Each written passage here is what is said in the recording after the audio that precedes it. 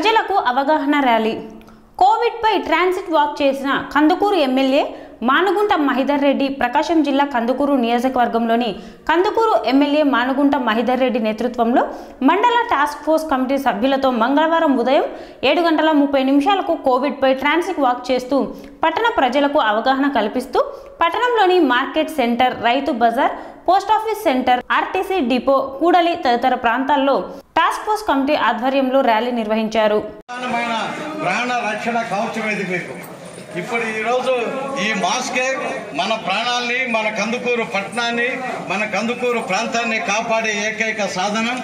దయచేసి మాస్కుని దించకండి దించితే కరోనాని మీరు ఆహ్వానించినట్లే.